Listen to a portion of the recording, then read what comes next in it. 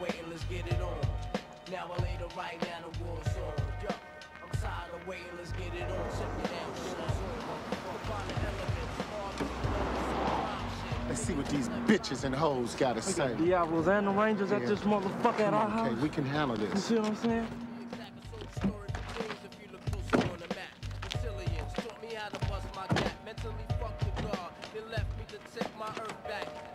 revolutionary shut track.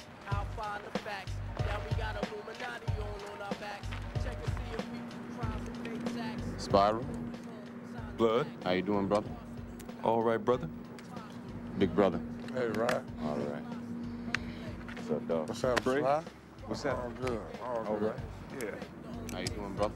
50 Cent and go upstate, never that. Heard you got trouble. Everything's cool. What's your problem? Shooting a kid in a phone booth for a fucking $300 hustle?